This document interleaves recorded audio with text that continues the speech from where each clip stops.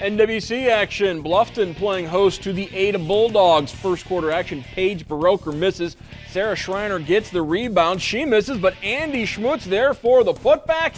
They give Bluffton the early 2 0 advantage. Other end, later in that opening quarter, Alexis Ambergy finds Tori West.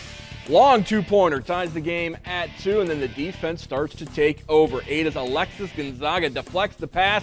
Ambergy picks up the loose ball, brings it down court, but Baroker comes up with the steal, and Ada would go on and pick up the road victory. Big win for the Bulldogs, 46-42. Wist had 18 to lead all scorers. Sarah Schreiner, 14 for Bluffton. That is a nice one. Columbus Grove and Allen East, a pivotal matchup as well. Grove up 38-35. Five and a half left to play. Mustangs inbound. Casey Rao miss 1,000, puts it home. The one-point affair. More from the Stangs. London Richardson to Carly Klum. Allen East on top, 41 to 38. Grove hanging tough.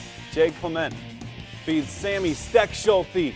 Actually, that's Allen East driving. Rao perhaps using the screen there. It's 43-40 Stangs. Then less than a minute to go. Grove down three. Steckschulte Called for the travel. Grove has to foul. Allen East. Aubrey Woods hits two big free throws, so it's a five point lead.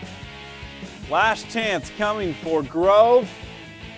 But Allen East playing that tough defense, and Jared Wary's ladies go on the road and get a nice NWC win once again. 50 to 44. Crestview also victorious over Spencer.